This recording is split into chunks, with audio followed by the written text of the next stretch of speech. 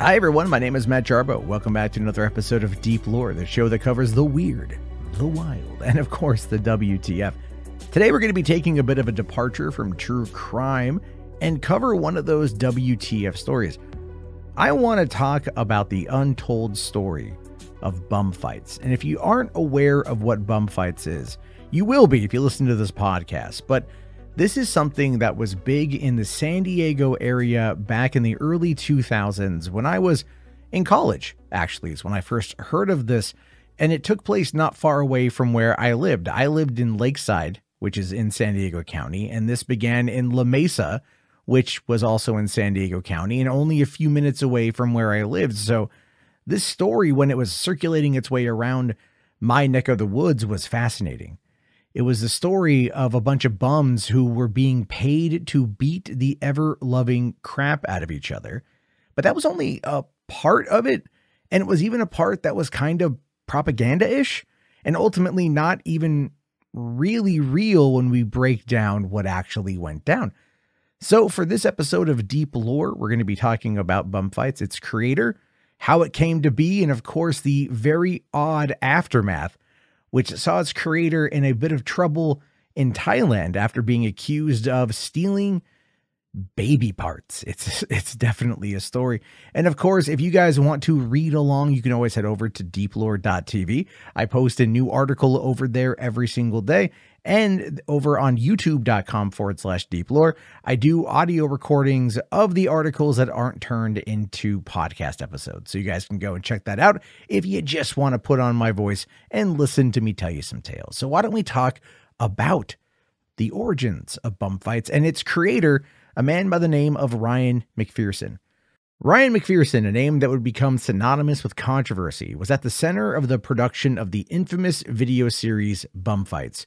Born in La Mesa, California in 1983, McPherson had an early fascination with filmmaking and a drive for pushing boundaries. During his teenage years, McPherson formed an unlikely connection with two middle aged homeless men named Donnie Brennan and Rufus Hannah.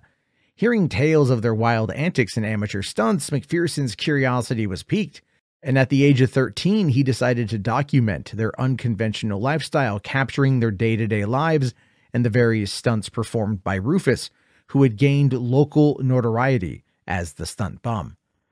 You have to love that this kid at the age of 13 was all about exploitation you know? And it's not to say that like the bums in San Diego are different than anywhere else. They're they're pretty standard across the board. But Rufus is one that had a very compelling look a very compelling personality and that is one of the reasons why people were drawn to him when he was the stunt bum and of course why he was so popularized when he became the face of bum fights it's pretty wild when you kind of think about it now, initially, McPherson's footage of Brennan and Hannah was intended for only personal use, providing a glimpse into the lives of these individuals on the fringes of society. However, the potential for something greater began to take shape. Seeing the popularity of similar tapes circulating amongst his peers, McPherson saw an opportunity to create a unique and controversial project. Now, one of the things that they're talking about with this is not necessarily seeing bums or the homeless doing dangerous stunts. What they're talking about are fight tapes. And fight tapes were, you know, making their way around quite a bit back in the day. These were ones that were clearly shot on either like mini DV or VHS-C tapes, but they were circulated around and people just kind of saw them pop up in different places whether a friend had a VHS copy or it might have been on Google Video or something like that. Maybe it was on LiveLeak or one of those early type sites that showcased it all all the you know stuff. Nowadays, what they have is um WorldStar. So if you know anything about World Star, that's where a lot of this footage probably would have gone if it wasn't for bum fights, and of course, many many many years down the road. So anyway, he teamed up with friends Zachary Bubeck, Daniel J. Tanner, and Michael Slyman. And it was here that McPherson formed a production company called In Decline. They were inspired by the raw and often shocking content of the MTV series Jackass, and the group decided to compile their footage onto a DVD release, giving birth to the very first bum fights. Now, bum fights became an audacious blend of street fights caught on tape and homeless men performing outrageous stunts. However, it is important to note that despite the provocative title, the video did not actually depict homeless men physically fighting each other. Instead, they showcased a compilation of street fights captured on tape and the participation of homeless individuals in skits and stunts. There's even a half naked woman in in the in, in the first video, the first one that came out, which was called Bum Fights Volume 1: A Cause for Concern. This one was initially released in 2001 and it immediately sparked controversy and drew the attention of both supporters and vehement critics. The videos gained notoriety for their shocking content and unfiltered portrayal of raw street life. This unconventional project struck a nerve dividing audiences and raising ethical questions about the exploitation of vulnerable individuals. So, as a San Diegan who was 19 when this first came out, I can generally tell you the vibe going around town in those circles was holy hell, how do I get a copy of this? I want to see bums beat the shit out of each other because it's funny. Now, in retrospect, in hindsight, two decades removed, clearly that's not the right course of action. But when you are younger, when you're hearing about these things coming out of not only your city, but there's being clips circulated around on the internet and people are talking about it. And this is in the early, early days of social media. I mean, it was nowhere near what it is now, but people were talking back then and stuff did get shared around that nowadays would be seen as being uncouth or unpopular. I mean, look, to be fair, that stuff still gets shared around anyway, but it's largely more under the table and not as publicized as it once was. You could probably expect in like 2003, 2004, there would be bum fights posts all over MySpace when that was hitting the height of its popularity. So it was kind of a thing where people just heard about a movie called Bum Fights and they would immediately assume, hey, yeah, these are where bums are going to go beat the crap out of each other. How do I watch it? And that's one of the reasons why, because of the controversy, it quickly gained traction, captivating audiences with its blend of shock value and dark humor. The series resonated with a generation drawn into the unconventional and edgy. By tapping into the spirit of rebellion, bum fights became a cultural phenomenon attracting a significant following and igniting intense discussions about the boundaries of entertainment and morality. Keep in mind, this is 20 years ago. This is absolutely 20 years ago when we didn't think about this kind of stuff. When I was in high school, websites like rotten.com and goregallery.com were popular. We would check them out all the time this was a new phenomenon, a new tool, and people were using it to kind of look at the most dark and depraved content they could find on the open internet. I mean, within reason, obviously, within reason. You know, it was like sex and like death stuff. There was a website called Stileproject that featured both very heavily. And it was a really popular place for a lot of these people to hang out, message boards, forums, things like that that is one of the reasons why people were really paying attention. We're in a new millennium, we're at new technology. There's all of this conversation around what is good, what is just, what is right, what is evil. And it was just this weird, macabre blend happening that it's not there now because the internet's mainstream all of this stuff is mainstream so there's safeguards in place and there's there's people who who know what could happen if it's left unchecked and that's kind of where bum fights got popular, and quite frankly, it got too popular. Now, with its unconventional approach and boundary pushing content, bum fights quickly gained notoriety and captured the attention of audiences across the United States. Bum fights presented viewers with a raw and unfiltered look at street life, featuring a compilation of street fights caught on tape and homeless individuals engaging in outrageous stunts. Advocacy groups and critics condemned the videos for their perceived exploitation of vulnerable individuals. They argued that the series not only perpetuated harmful stereotypes about homelessness, but also glamorized violence for entertainment purposes. To be fair, what doesn't glamorize violence for entertainment purposes? I mean, I used to work at a movie theater back then. In fact, it was in San Diego at the Santee Drive In. We would have parents bring their kids to hardcore R rated movies, and I would be at the box office and I would tell them, hey, uh, you know, this movie is not meant for kids. It's a lot of violence, gore, nudity, and stuff. And the parents would say, yeah, the kids see worse on TV, which at the time is largely not true. But again, glamorizing violence for entertainment purposes is kind of what the video game industry is. And I'm not knocking the video game industry. I love games, I play all the time. But it's not something that can really be used as an argument nowadays, and even probably ever. But 20 years ago, people were really trying to. However, despite the backlash, the popularity of bum fights soared.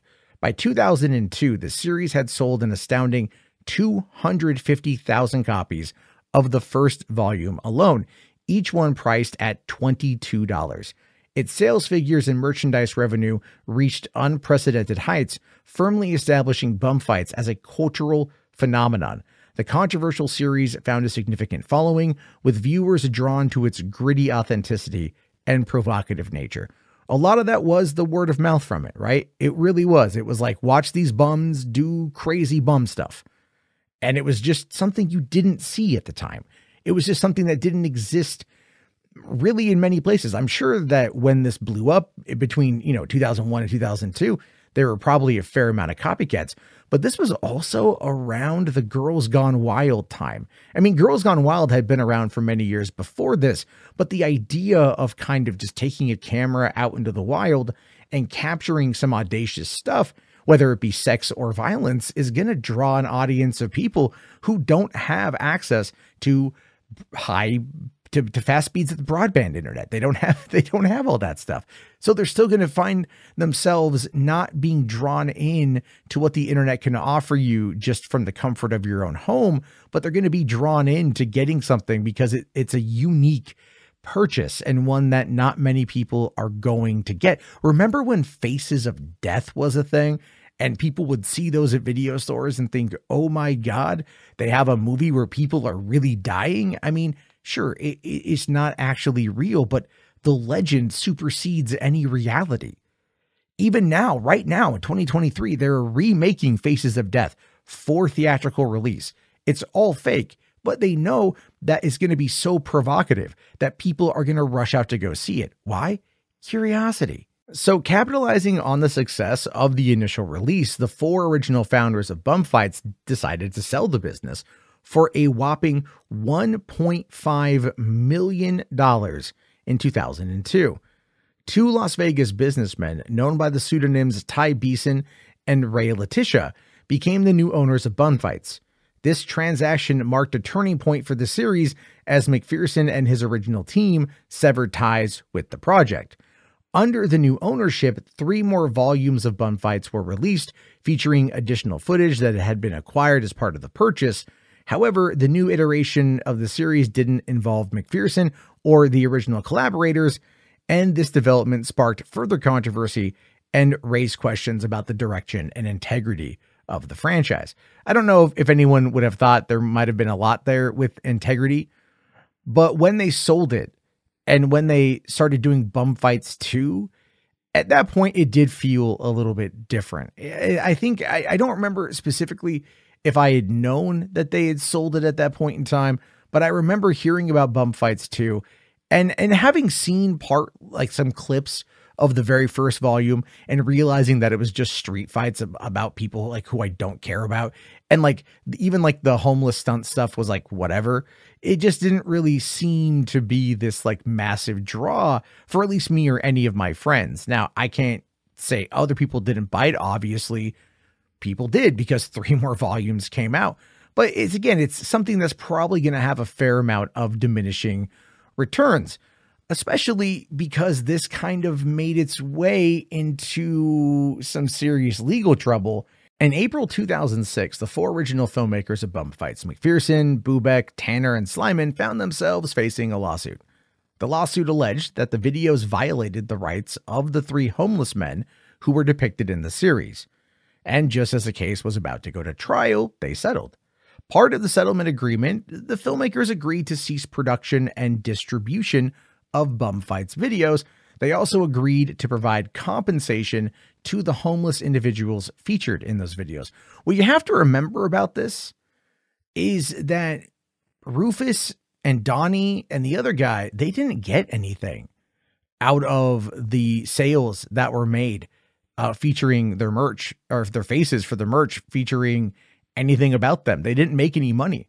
You know, some of the reports were saying that McPherson gave them beer money occasionally or bought them some food occasionally. But you figure if this entire thing is pulling in literally millions of dollars, that is something that could have easily set those guys up for life or at least set them up for a while to get on the right track. But they didn't do that. And that's one of the reasons why this lawsuit happened. This legal settlement marked a significant turning point for the franchise. It signaled the end of the original creators' involvement in bum fights and the closure of that chapter in their lives. The series had become synonymous with controversy and ethical debates, and its creators decided to distance themselves from its future. I mean, they were kind of forced out, to be fair, but it would be for the best for them to do that. And when the settlement was complete, the franchise, as I mentioned before, was sold to Ty Beeson and Ray Letitia, who then ventured forward without McPherson or any of the other creators. So, what happened after Bum Fights? What was McPherson's post Bum Fights journey? Here's where things take a turn and get really wild. So, after the settlement and the sale of Bum Fights, McPherson found himself at a crossroads. The series had become a lightning rod for controversy, and he sought to move on to new ventures.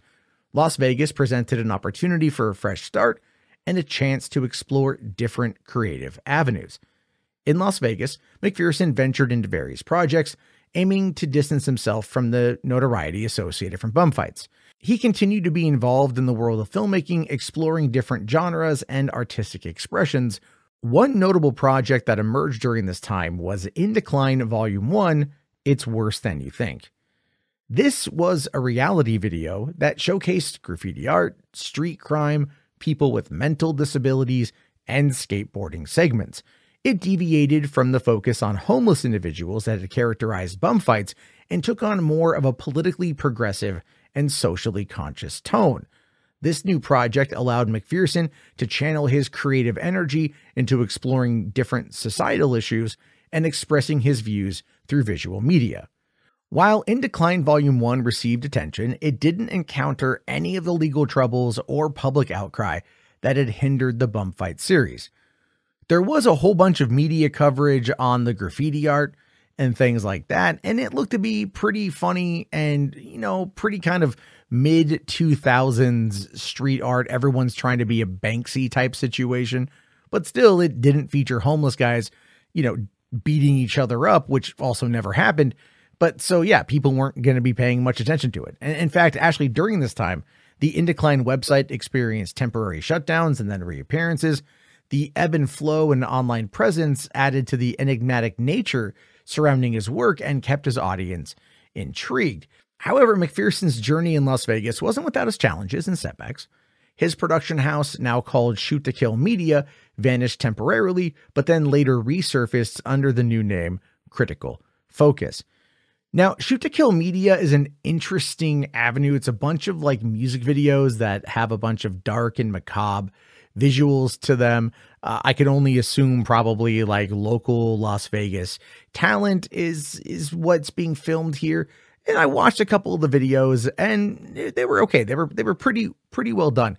Critical Focus on the other hand is really interesting because you can tell at this point he doesn't want to be associated with bum fights at all. There's actually a video that he directed with like uh Blue Man Group and like Piff the Magic Dragon and I think like some people from Cirque du Soleil and whatever and it's all about this um you know, this event in Vegas. And it's a really well done, stylized video. Louie Anderson is in it.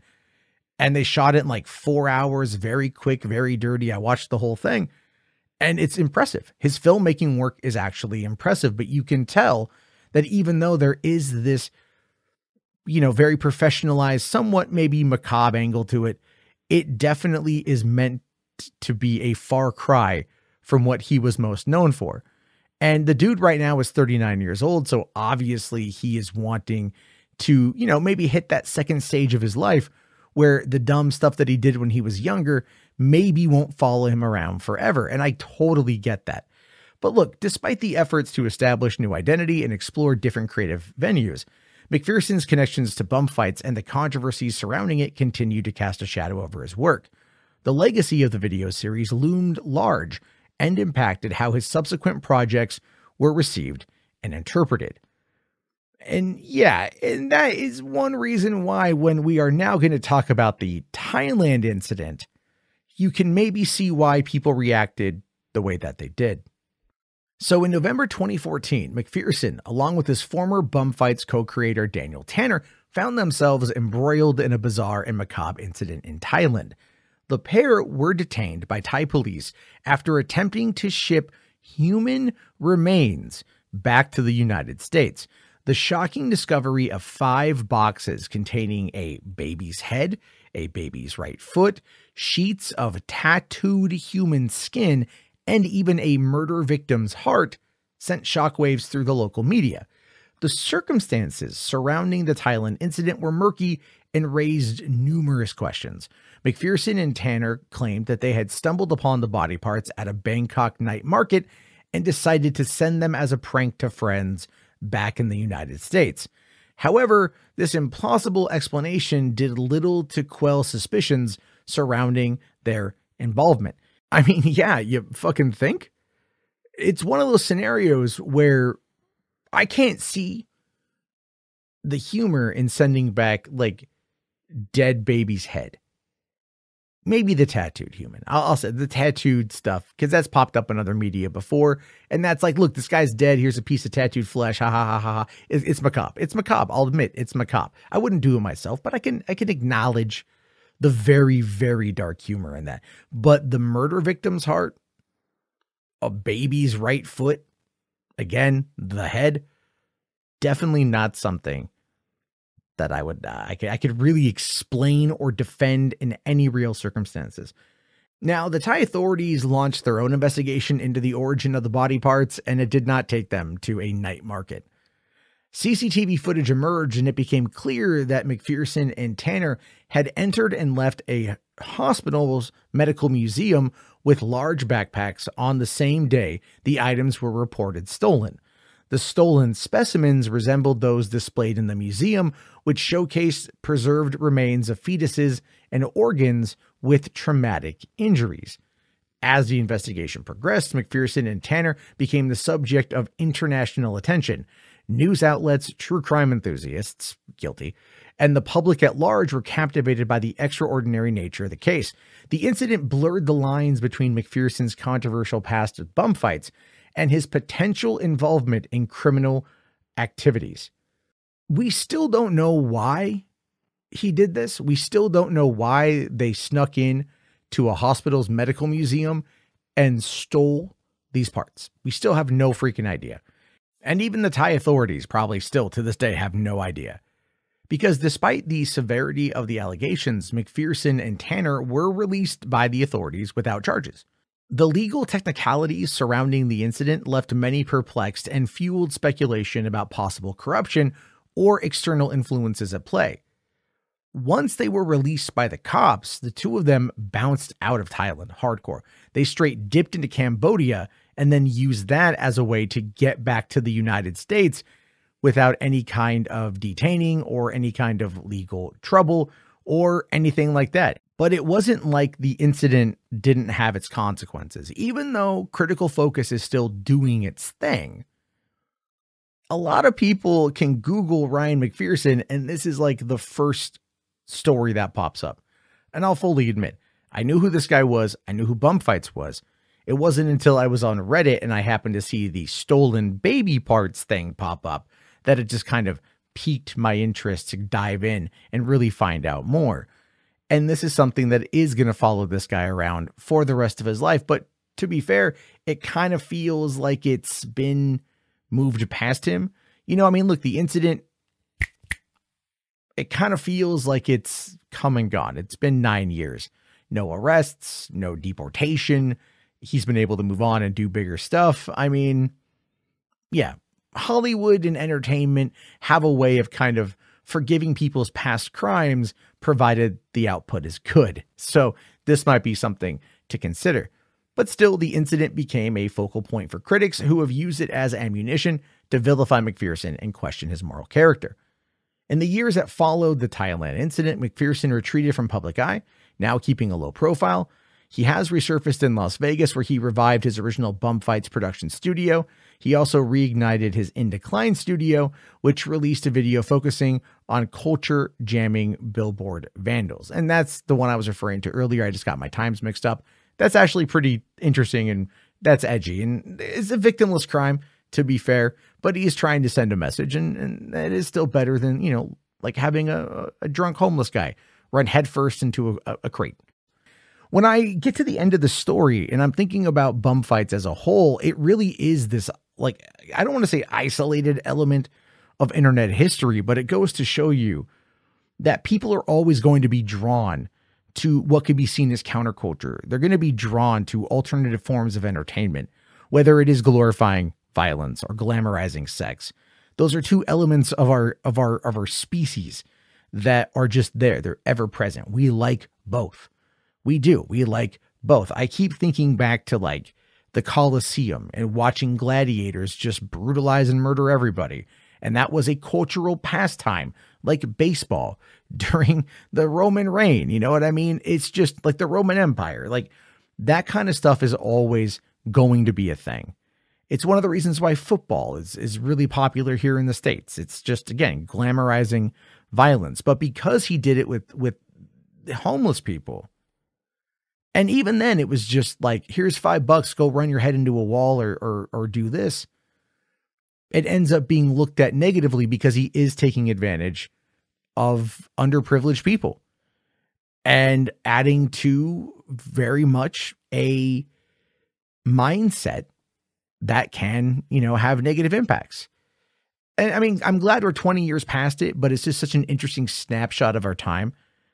And, I, and I'm just kind of curious your guys' thoughts on this one. So if you guys haven't already, head over to deeplore.tv. You can find the article. You can leave your comments there. Deep Lore TV at YouTube, Deep Lore TV on Twitter, Deep Lore TV on Instagram, and on TikTok. Man, it's everywhere. Just Google it. You guys are going to find it. If you guys want to support the podcast, best way to do that is head on over to patreon.com forward slash Matt Jarbo. Help out. And I will talk to you all next week for another episode of Deep Lore. Thank you again. Have yourself a great day and peace out.